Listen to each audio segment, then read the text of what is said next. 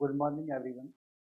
I am Sukaran Singh here, PGT Commerce from Chaudhary MRM Memorial Senior Secondary Public School, 5 NRD Nirwana.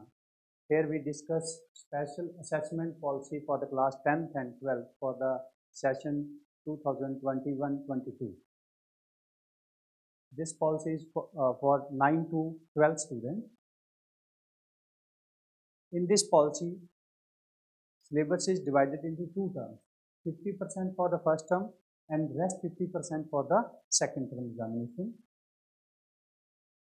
Curriculum for the 9th and 10th internal assessment divided into 10 plus 5 plus 5 is equal to 20 three periodic test for 10 subject activity for 5 and notebook for 5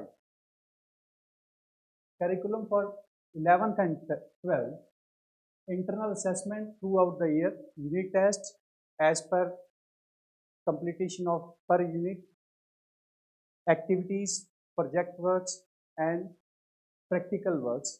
All the record are kept by student as evidence.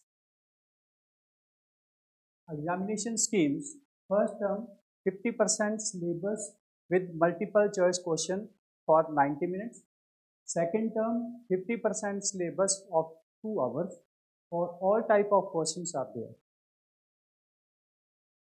First term examination will be held in November or December 21. Date will be decided later by the CBSE.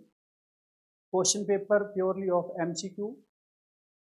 Question paper sent by the CBSE. Students will respond on OMR sheet overall marks is include, included in the overall result. Second term examination will be held in March, April 2022 at the end of second term. This, this paper will be held in school. Question paper is based on uh, short-term questions, long-term questions, MCQ, different type of questions are there. If COVID situation is similar, then only multiple choice question for 90 minutes will be held. Assessment as per the situation, that is a very important point. If COVID situation improve, then both first term and second term examination will be offline and equal weight is given to both examination. In second case, if school closure for November and December and first term held online and second term held offline, then second term will get more weightage.